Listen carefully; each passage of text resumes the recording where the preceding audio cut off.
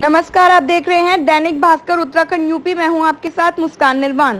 होली पर दो पक्षों में खूनी संघर्ष एक की उपचार के दौरान मौत। बागपत में शराब पीकर झगड़ा करने मारपीट करने के मामलों में लगातार बढ़ोतरी हो रही है। आज भी शराब के नशे में दो, दो पक्ष मामूली सी बात को लेकर आमने सामने आ गए और होली के रंगों की जगह एक दूसरे पर लाठी डंडे बरसाने लगे। इस संघर्ष में पैंसठ वर्षीय एक बुज़ुर्ग बुरी तरीके से जख्मी हो गया और उपचार के दौरान उसकी मृत्यु हो गई। पाकपत से मेहंदी हसन की रिपोर्ट देखते रहे दैनिक भास्कर, उत्तराखंड, यूपी। सर, मेरा नाम ललित कुमार है गाजीपुर है, जिला बागपत। और मेरे पास रोज रोज शाम के टीम आती है बापू बेटा, देवानंद सनोब मैं भारू सिंह हैं आकाश सनोब देवानंद, दोनों बापू बेटा शाम के टाइम ड्रिंक करके आते हैं, गाली गलौज करते हैं, और हमें मारने की धमकी देते हैं। आज मैं मैं भट्टे पे काम करता हूँ बिजरोल में।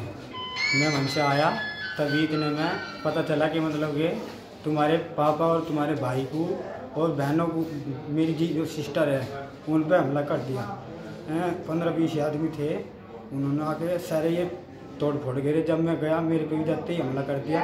हमला करते ही रोड डेली का, अब भी ये कह रही कि मतलब कि घर गाँव में निकल तू तुरंत एकदम पीट के तुझे। रात भी इन्होंने गाली गलौज की हम प्रधान के घर भी गए कल भी और आज भी गई थी। सुबह से हम फ़ोन कर लगे प्रधान के घर हमारी कोई सुनवाई नहीं हो रही। हम मैं मेरे पापा मेरे भाई मेरी बहन और मेरे मेरे चाचा मेरी चाची मम्मी एक और भाई है। हम छः सात आठ लड़के भी हैं। परिवार में सारे घायल हैं हम और हमारी कोई सुनवाई नहीं हो रही। किस बात को लेकर झगड़ा हुआ? लड़की उसमें। कैसा? कह रहे हैं एक दिन इसने जो ये देवानंद का लड़का है इसने वो कहा मतलब कि कुछ कह दिया वो लड़की को। तो उसके बारे में तो इसे समझा पहले भी नहीं मानना। तो अब भी ये फिर नु कहला कहला मैं तो नहीं करूँगा। जो होता हो धर पर कर लिए। मेरा कुछ नहीं बिगाड़ सकते तुम। इस बात पर लेकर झगड़ा हुआ। झगड़ा हुआ था देखिए बड़ौद थाने में ग्राम वाजिदपुर में दो पड़ोसियों में आपस में झगड़ा हुआ है जिसमें एक पक्ष की चोटों के कारण मृत्यु हो गई है और अस्पताल में जाके लाठी डंडों की चोटों के कारण उसकी मृत्यु हुई है।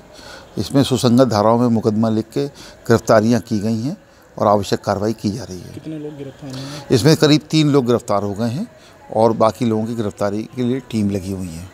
कुछ पूछताछ पता लगाओ क्या वजह थी झगड़े की? ये पड़ोसी हैं और आपस में कुछ खा पी के इन्होंने झगड़े किए हैं, थूकने के ऊपर विवाद है। एक दू, थूक, सड़क पे थूकने के ऊपर विवाद हुआ तो ये झगड़ा हुआ है।